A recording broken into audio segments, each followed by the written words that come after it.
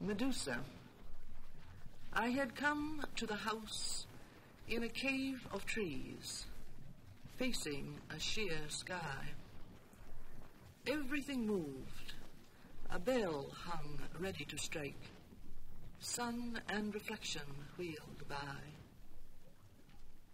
When the bare eyes were before me, and the hissing hair, held up at a window, seen through a door, the stiff, bald eyes, the serpents on the forehead, formed in the air.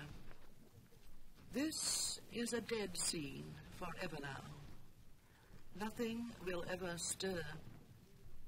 The end will never brighten it more than this, nor the rain blur. The water will always fall, and will not fall, and the tipped bell make no sound. The grass will always be growing for hay deep on the ground. And I shall stand here like a shadow under the great balanced day.